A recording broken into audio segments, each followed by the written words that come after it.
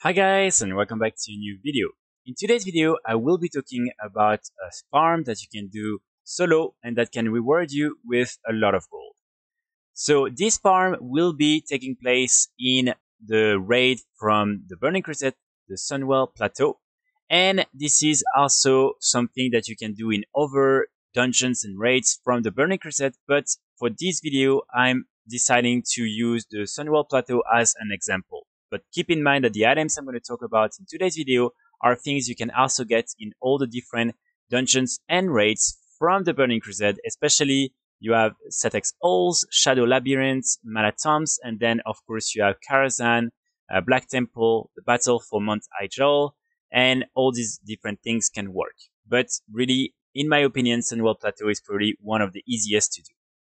So the items we are after in today's video are going to be uh, all the different patterns, the rare patterns for the different weapons uh, from the Burning Crusade, especially the ones from uh, blacksmithing, but also the different recipes for leather working. The one especially we really want is going to be the Felsteel Longblade pattern. So the Felsteel Longblade pattern in itself can sell for more than like 700k gold on most realms. And then you can craft this really cool blade and this blade can also be sold, as you can see, for like anywhere between like 30 to like 100k gold on most realms. And this is really something that sells all the time.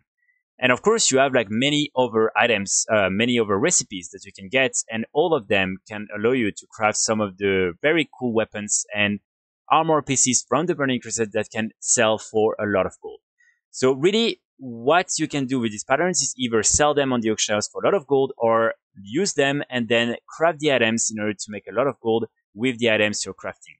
Next to that, of course, we will also have a lot of the really cool weapons and transmog items that you can get uh, from the open world and from any type of mobs from the Burning Crusade. For instance, you have uh, the blaze, the blade of wizardry, and you have like over weapons and transmog items that you can also make a lot of gold with. Another interesting item that you can actually get in this uh, raid and again in many other raids and dungeons are going to be the stoppable force. So these gray weapons, as you can see, are just normal gray weapons, but they are used in order to craft the Topaz Bubble Worm pet.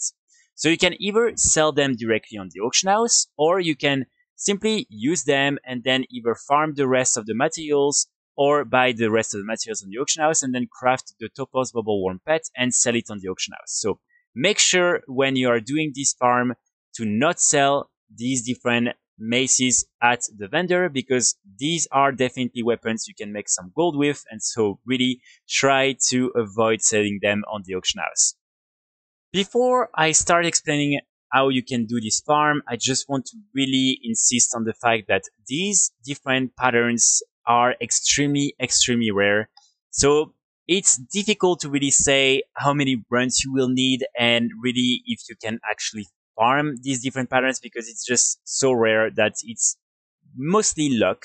Uh, of course, by doing this farm, you are increasing your luck, but it's still something that uh, you will only see after a lot, a lot of runs. So please, again, keep that in mind and don't try like two or three runs and then just give up if you really want it, just try and at some point, maybe we'll be, we will be rewarded with these different patterns and especially the one for the Felsteel Longblade. But keep in mind, it will take some time. So the farm is really easy. All you want to do is go here, gather all the mobs, take all the mobs that are in these different gardens, come here, just hide there, kill all the mobs you just gathered, and then you want to come back, exit, and reset. Like that, you can do it probably like uh, 10 times in like 20 minutes. And after that, you will probably have to wait for the instance to be available again. This is really something that should normally take you like two minutes, maybe by run, something like that. So it's extremely easy and something you can do extremely, extremely fast. So again, druids and these different classes are definitely going to be faster, but you can normally do it in two minutes on most of your different classes. So really, really fast. There is another route uh, where basically once you've like killed all of them, you want to then go up and go all around, all around until that point. What I would recommend you to do is to avoid having to come back and then exit the dungeon, the raid. just when you are like uh, starting to go uh, on the stairs and starting to grow all the packs, try to join like a group in the different group search, especially ones, for instance, for like uh, Zereth Mortis rares. These ones always have a lot of people and they don't really care if you join and leave. Uh, so it doesn't really impact their gameplay. And so you just join it. And then in the middle, you just want to leave the group. And so like that, when you are done killing the mobs, usually you will just be teleported outside of the raid and then you can go back to the raid and like that you like won't lose some time having to run back to the entrance and then reset the raid.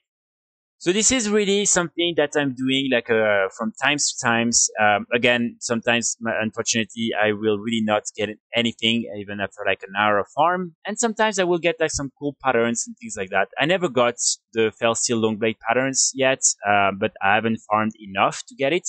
But I'm sure this is something that if you're doing it and you're a little bit lucky, you might be able to get it, or maybe some other cool items. So that's going to be pretty much it for today's video. I really hope uh, you enjoyed. Also keep in mind that really right now, again, with the region-wide auction house and all the different uh, commodities that are now extremely cheap, it's extremely easy to craft all these different items. And so this is why I think people will be willing to spend a lot of gold either on the plants or on the different like uh, yeah items that you can get from this uh, farm and also yourself you will be able to craft all the different items for a very cheap price. So for me crafting is going to be really the next big thing at least uh, before the release of dragonflight and probably like new things are going to be introduced into the game. But really right now this is what you should focus on. And this farm in my opinion is going to be really interesting. Also why this farm is so good in my opinion is really because Right now, with the region-wide auction house and the fact that all the commodities are now extremely cheap, a lot of people are going to be interested in trying to craft all the different items that they can now craft for a very cheap price. And so I'm sure a lot of people will be trying to get these rare recipes from the Burning Crusade. So this is why, in my opinion, having them on the auction house will be really, really good. Also, keep in mind that when you have actually this uh, like recipe and you learn it, you can then craft all these different items for a very, very cheap price and you can then make also a lot of money. So for me, this is definitely like a farm you should be doing right now and definitely something that uh, you might make a lot of gold with. Right now, I still haven't gotten the like plans, uh, but this is something I need to do a little bit more and then maybe one day I will be lucky enough to get it. So that's going to be pretty much it for today's video. I really hope you enjoyed. And yeah, I will see you all very, very soon. Bye.